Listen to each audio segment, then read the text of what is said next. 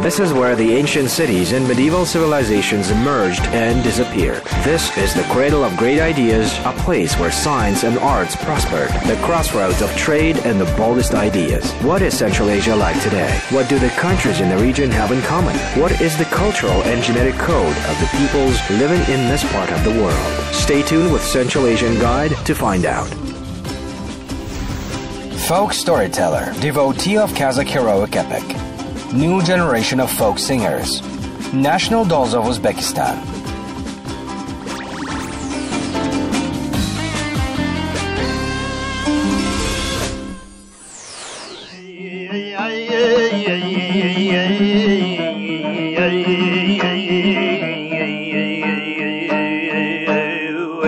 Ancient Zhyrau, folk storytellers, epic performers, soothsayers, and advisors of the rulers who stood on the very top in the hierarchy of military democracy, shoulder to shoulder, bearers of the spirit of the steppe honor. The peoples of the Great Steppe always deeply respected them and listened to their words, and during the times of war Zhyrau were in the military councils. Often they had the final word, because it was believed they could see the future. All the bearers of ancient art still live today. Is it possible to call contemporary performers of ancient epic works. Is there anything that can be accepted unconditionally by the Kazakh society as an example of the glorious tradition of steppe poetry? There is no definite answer to these questions. Scientists admire the skill of the performers of the heroic epic, but at the same time, they don't sort them out with the medieval singers and soothsayers Akhtamberdi, Shalkiz, and Bukhar Zhyrau. But the successors of the glorious tradition are not really offended by the fact. Grandpa, the tea is ready. Thank you. Give me him. Come here.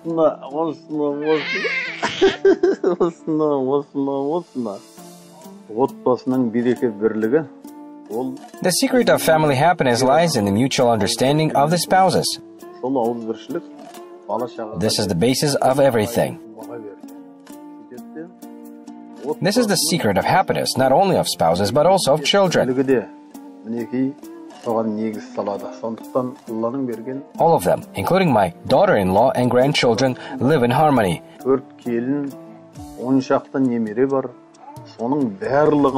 And all this is due to mutual understanding. Almas Almatov became famous as a performer of the folk epic at a young age. He was a student of the respected Zhyrau and mastered the ancient skill. Also, he had a unique voice and poetic gift. The audience in Florence, Milan, and Geneva applauded him. And then, President of France, Mitterrand, was amazed by a young Kazakh talent and offered him to be an opening act of the gala concert in Paris. This is the epic Edige Batyr. It is also called 40 Batyrs of Crimea. We have recorded all that folk legacy. We have hundreds of such discs. There is also a music library collected in the 50s 60s of the last century. Here are the tapes with the voices of the performance of the epic made at the time. The storytelling is our ancient tradition. Since the ancient times, it was passed on from father to son, from son to grandson, and thus preserved until our time.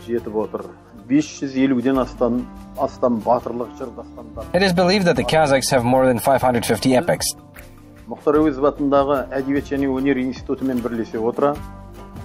Together with the Mukhtar Auezov Institute of Literature and Art, led by the academician Seit Kaskabasov, we performed 50 heroic epics.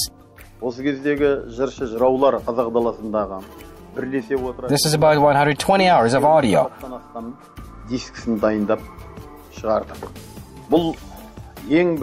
This is the first such collection of Kazakh heroic epics.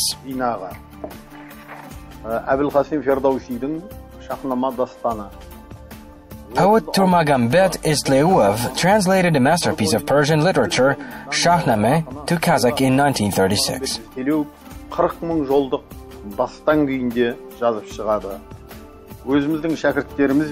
This is a monumental work, 40,000 lines.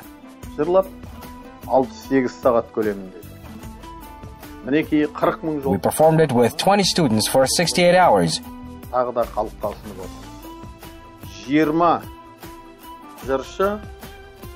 In the first heroic collection, I performed 27 epics. As for my work, here's my poem. It is called Shingis Name, Joshi Name, Alash Name, and Kazakh Name. Total four volumes. The first volume is Shingis Name. It has 15,000 lines. We performed this musical epic together with Tenji when I was five years old, a well known documentalist came from Leningrad. They were making a documentary series. They made a swing that hanged on a big tree called Karakach. So I was swinging in traditional clothes. And my father sang at sunset. Yes, it was very memorable. At the University of Arts, the folk storyteller researcher teaches traditional singing. Students are waiting for the moment when famous mentor will be evaluating them during the music exam. Put the things in a car. Better, in the trunk. Good day. Let me help you. Let's go.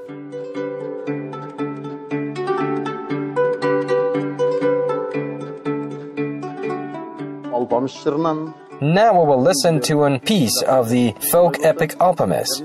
Yernar, you may start.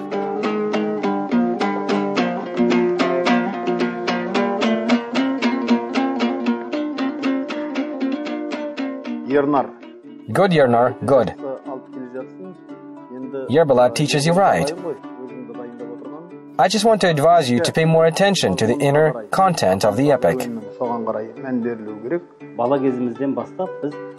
Since we were little, we have heard a lot about Almas Almatov, about his work. During the student years, we listened to his audio recordings, lectures at the conservatory. Did not miss his concerts. His distinctive feature is that he's perfectly familiar with the work of storytellers and Zhyrau of different re regions of our country and devotes much time to the promotion of traditional Kazakh art. He works with students a lot and pays special attention to diction, the art of recitative, and explains the importance of communication between the listener and the performer.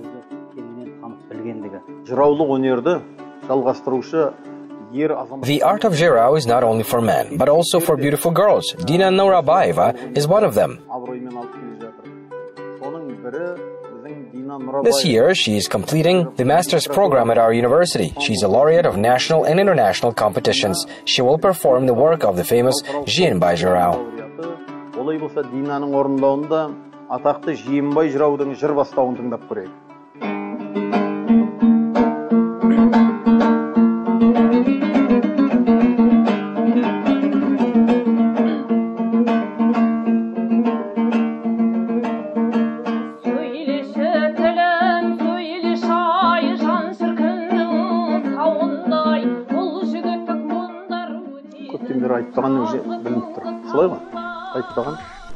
I can tell you have not been practicing recently, right? Do not hurry. And also, you performed too loud today. But do not forget about the text. You must try to express the content, its philosophy. Okay? Good luck to everyone. His whole life is connected with this kind of art. And he has done a lot for the launch of the program Traditional Art of Zhyrau. In higher education institutions, along with scientists and experts, he worked on developing state standards of education in such a complex and delicate sphere as traditional singing.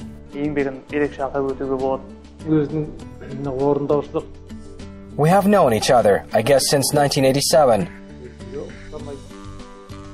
At that time, he was a novice singer, performing old works.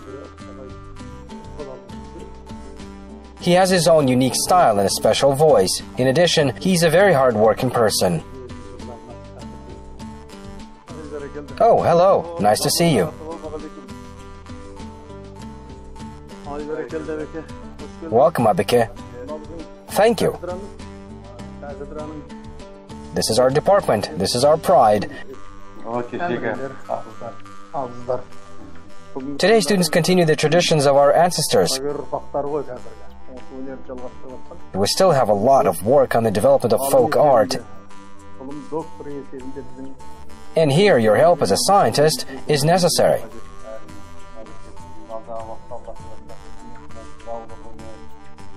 Glad to be useful. I wish your department prosperity and success.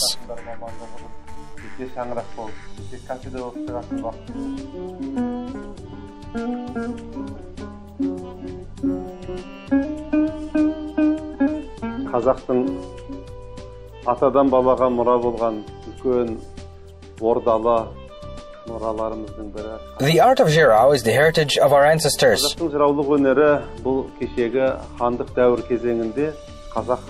It was at the peak of the glory at the times of the Kazakh Khanate and it combines different qualities.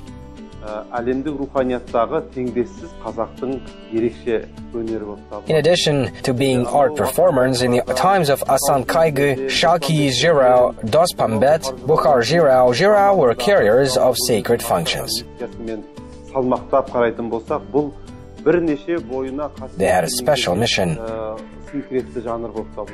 ә, секретті жанр болып табылады әрине мына жыр жырлағанның барлығын жырау деп айтуға болмайды In my opinion, the majority of those who perform folk epics today are more likely to be narrators than Jirao. Ә, мына эпикалық жырларды жырлап жүрген ә, өнер иелерінің көбісі жыршылар But Almas Almatov can be called a real Jirao because he's a creative person who creates independent epic works. Адамнан үлкен эпикалық дүниелерді ә, м, туғызуға қабілетті тұлға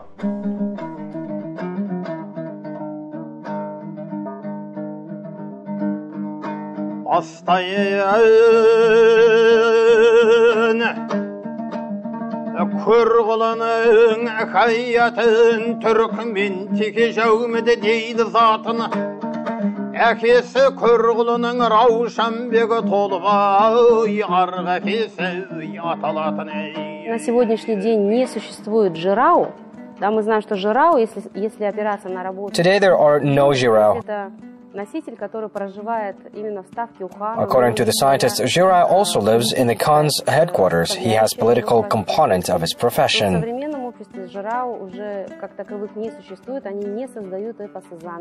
Considering this fact, modern Zhyrau no longer exist. They do not create epics. There are only jershi, which are performers of epics. As for the epic today, in my opinion, it is the most vulnerable genre. Zhir is a genre that combines several directions, including instrumental performance. Since the Kazakh epic is composed precisely with dombra,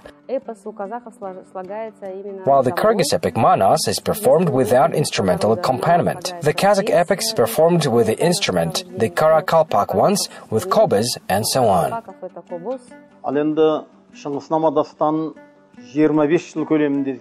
It took me 25 years to write Shingisname, For a quarter of a century, I studied materials on this subject because we are responsible for the truthful presentation of history to future generations. қолға қалам алуған орынды Жирау были не просто поэтами, акынами, они были советниками. Jira were not just poets or akins. They were advisors to the Khans. They were military commanders, soldiers, baters. At the same time, they had prophetic talents. Many of them were so-called senshi, that is, fortune tellers, soothsayers, so they had sacral functions.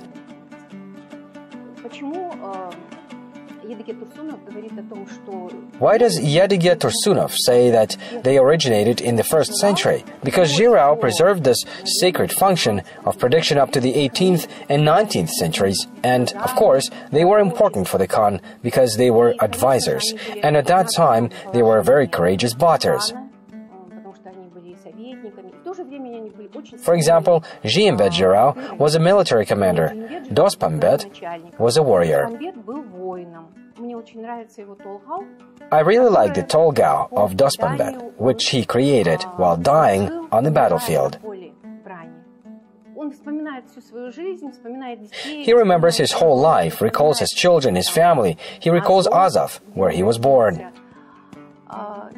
And constantly a ritornel, a musical ritornel, which makes it a farewell. At the same time, this word does not fit this work. This Tolgao does not show a fear of death at all. страха перед смертью. көрмеген әстер аушаны қапалықты жасынан шілтендерден баталыпты ажары ақылы артық болғаннан соң раушанбек аның аты аталыпты балалық шағым The Kyzylorda region has a place called Korkyt Ata. I was born there. From the early age, I listened to stories about this legendary man, listened to his works. Thanks to my father, Nurmakhan Almatov, I was familiar with the works of Nabi Manjasarov, Siddiq Karajanov since I was very young. My parents introduced me to the ancient art of Zhyrau.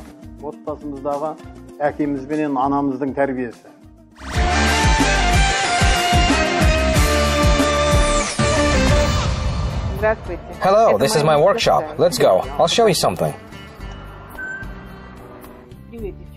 Hello, ladies. Hello. How are you? How is Arishka? Good, thank you.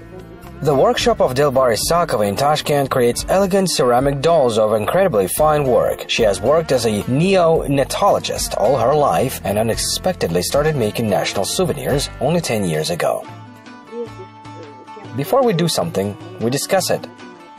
These are my assistants.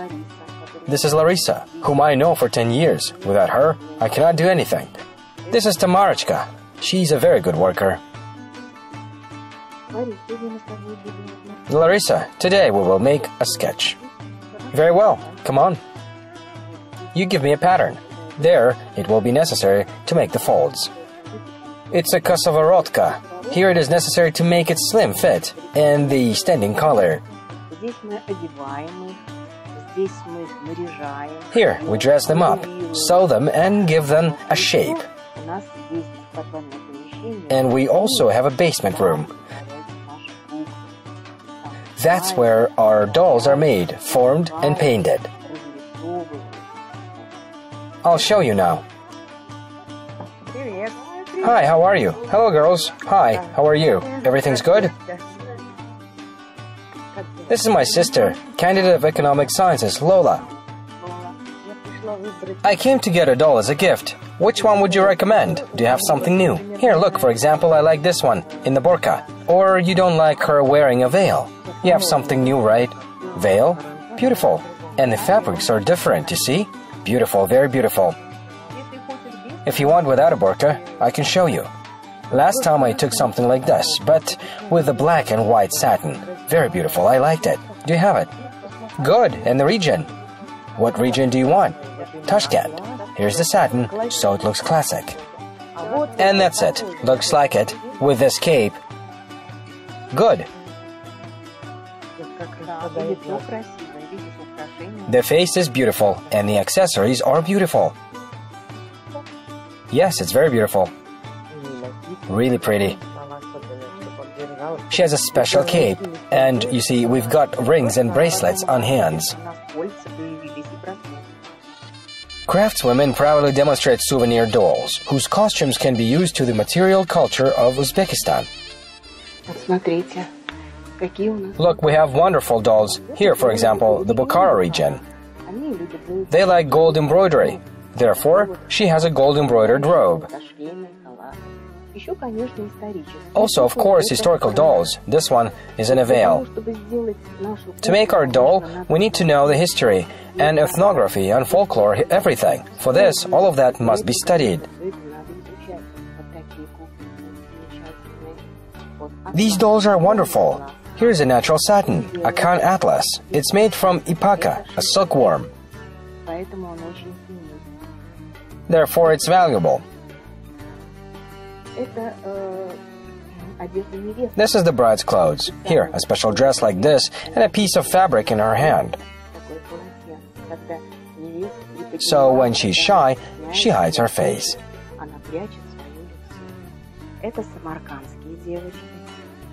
These are Samarkand girls. This is their clothing.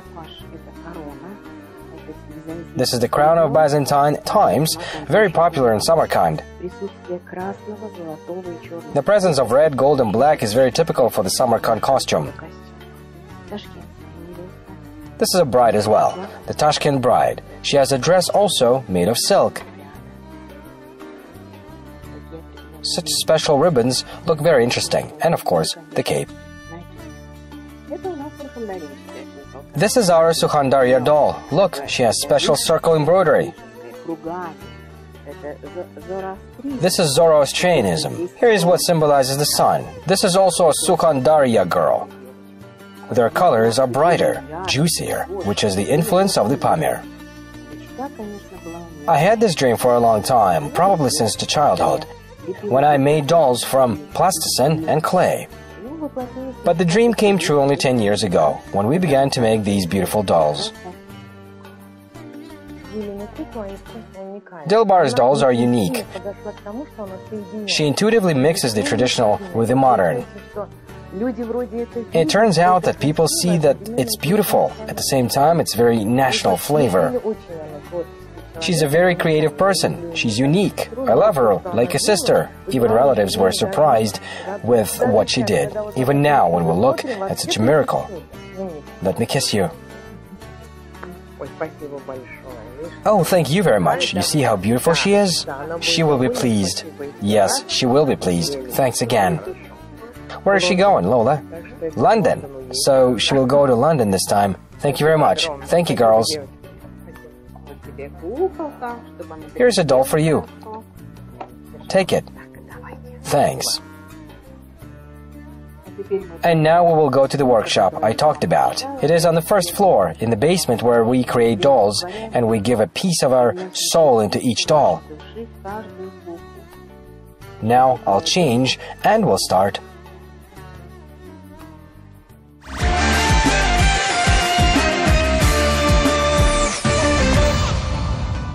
Everything in the workshop is done by the craftswomen. Here's the heart of our workshop. Now I'll show you how we will mold the dolls. Look, here is this usual clay from which will turn into magnificent ceramics. We dissolve this clay in water.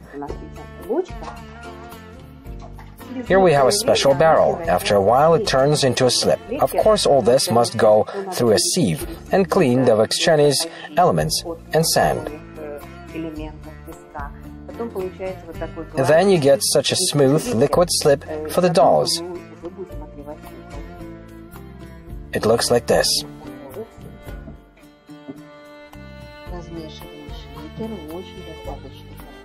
We stir the slip well, then it will be smooth.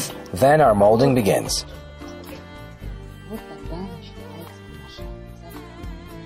You can stir the slip using the electric motor. But when you do it manually, it turns out much better. Fill up to the end and several times depending on the thickness of the crock.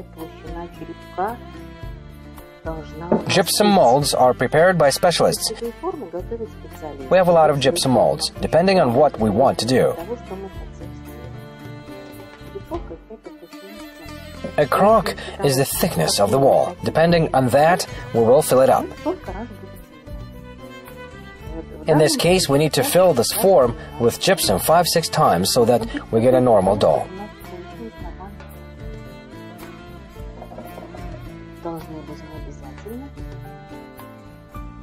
we will necessarily remove all the air or the bubbles that we have there.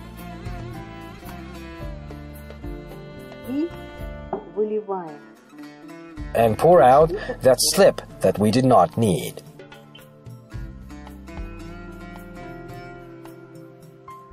We will put these forms here. They must stay this way at least 7 hours, but since this is a lengthy process, I will show you ready forms and the further process. Are you sudden, Larissa? Yes. Show how to do it. Show how you make it with the brush. The brush should be made of squirrel, always soft. Everything is made very gently. This is after the mold.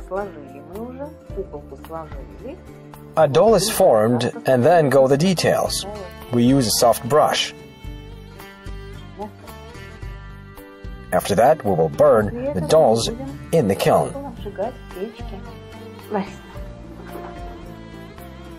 Можно бордюрчик сначала поставить.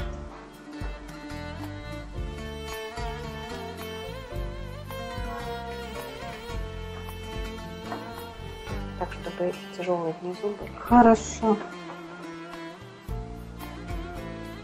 Складываем так, чтобы они все поместились. So put everything so it all fits. Everything should be even.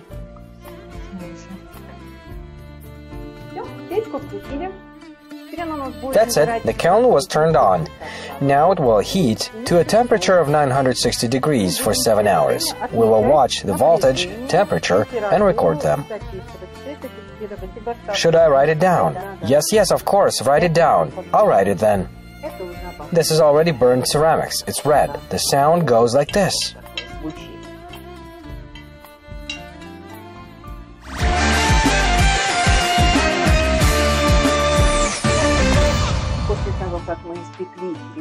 After we baked doll parts, breathed the soul in her, we lifted up to put together. Now Tamara is making it. She's attaching hands with a needle. This is done like this. We have an adapter made of rubber so the hands can move, so it will be easier to put clothes on a doll. Girls, we will have Khorezm girl, but a modern one. Here is a cutout dress. In general, the Khorezm costumes are not cut out, they're just straight. And on her head, she will have a takia, a cap with a special decoration and necessarily a feather. That's how we will decorate it. And from behind, we'll make this thing look more festive.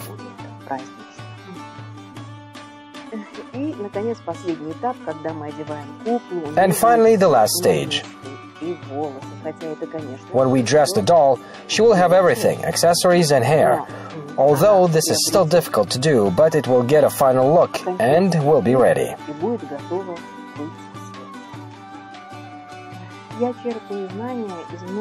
I get the knowledge from lots of my books. I have a book called To the History of Costumes of the Peoples of Uzbekistan, which Zuhra Rahimova gave me.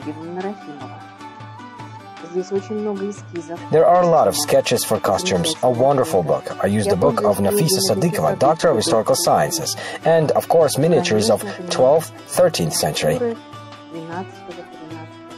Here are wonderful miniatures on which we can see the costumes. But the work in the workshop is just part of the art. They still need to make sure that the fine dolls are seen by true connoisseurs and they have found a place on the shelves of collectors. Dilbar, do you remember we have a meeting? We must go to the souvenir boutique. Oh, I completely forgot. You work a lot. What time is it? So it's five minutes to. Should you change clothes? Yes, I'll change. Alright, girls, let's work. Go change, I'll wait for you. Bye, bye. Look! What are you doing here?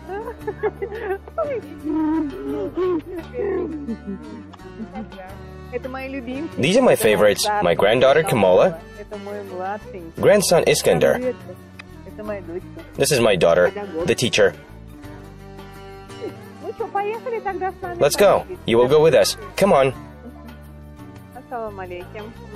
Good evening. How are things with our dolls? The sales of your dolls are good, especially the one in veil. This is our national flavor. The bride is also popular, handmade.